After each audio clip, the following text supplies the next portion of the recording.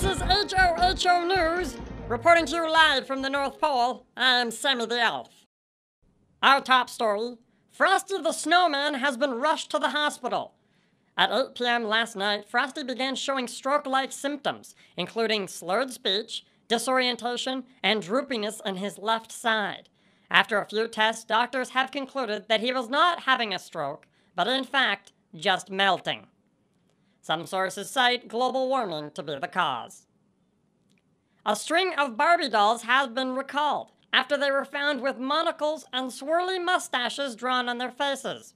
If you were an elf you know was behind this, Larry would like to have a word with you. In entertainment news, Santa has updated his celebrity naughty list. Joining the ranks of Tiger Woods and Jesse James are Mel Gibson, Charlie Sheen, and most recently, Miley Cyrus. When asked about it, her father Billy Ray said that it broke his heart, his achy breaky heart. In sports, the annual North Pole Dodgeball Tournament will be held this weekend. Santa's Slayers are heading in as the favorites this year, as they have won the last three contests. But this year, however, looks to be the most competitive one yet.